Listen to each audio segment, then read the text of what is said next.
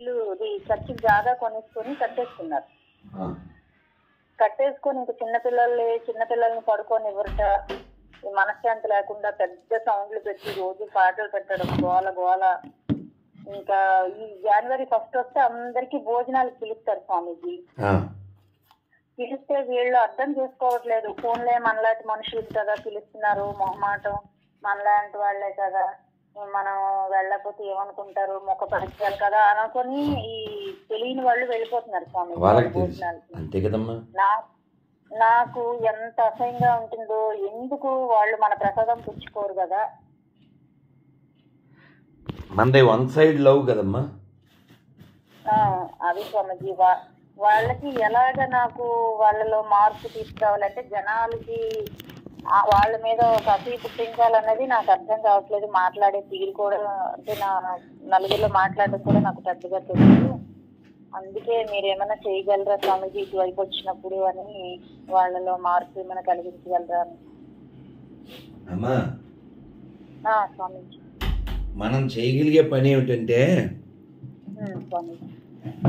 మనం చేయవలసిన పని చేయగలిగే పని ఎడ్యుకేట్ ఎడ్యుకేట్ ఎడ్యుకేట్ అవును మన అది ఎలా ఇప్పుడు నేను చేయగలుగుతాను. మనం ఎవరి మీద ద్వేషం పుట్టించాల్సిన పని లేదు ఎవరిని అవమానించాల్సిన పని లేదు నిజం చెప్పాల్సిన పని అయితే ఉంది.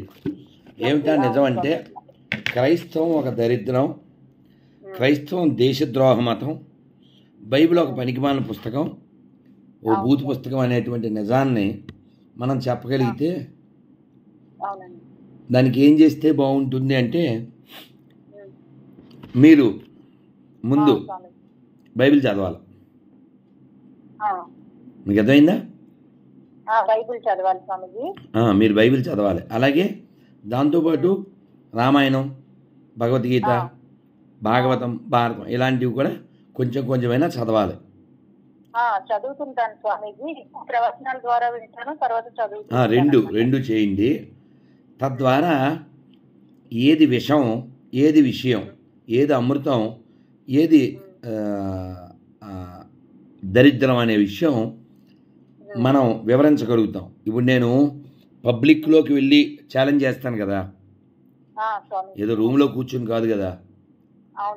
తిరిగి తిరిగి గొంతు కూడా పాడైపోయింది. అర్ధరాత్రి వచ్చాను నేను. మళ్ళీ రేపు ప్రయాణం. పబ్లిక్లోనే చెప్తున్నాను. మరి ఎవరు మన దగ్గర సమాధానం చెప్పట్లేదు నన్ను మతం మార్చట్లేదు. కారణం ఏంటి? వాళ్ళ దగ్గర ఆన్సర్ లేక. కాబట్టి మనం ఎడ్యుకేట్ చేయడం అనే దాంట్లో ఒకటి ఏమిటంటే మనం వాళ్ళతో మాట్లాడడం. వాళ్ళతో డిస్కస్ చేయడం. రెండోది వాళ్ళ ఇళ్ళకి వెళ్ళడం. వాళ్ళకి మనకు సంబంధించిన సాహిత్యము ప్రసాదము మన ప్రేమని మన అభిమానాన్ని పంచడం. ఇవి చేయకుండా కేవలం అరిస్తేనో కరిస్తేనో తిడితేనో ఈ దరిద్రం అనేది ఆగదు. అమ్మ కేవలం ప్రేమ చేత మాత్రమే మనం గెలవగలం.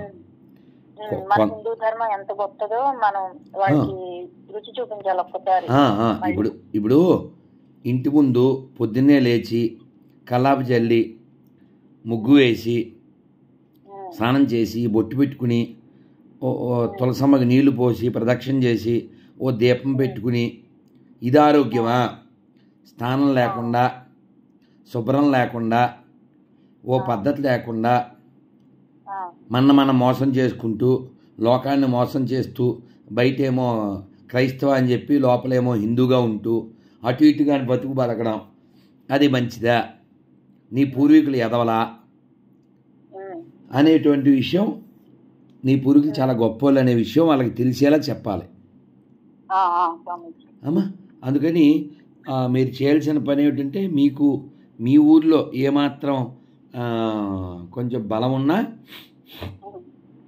గోడల మీద ధర్మానికి సంబంధించిన విషయాన్ని ముందు గుడి గోడల మీద తర్వాత ఊళ్ళో తెలిసిన వారి ఇళ్ళ గోడల మీద ధర్మ సంబంధమైనటువంటివి రాస్తూ ఉండాలి. అప్పుడు ఆటోమేటిక్గా ఒక మార్పు వస్తుంది.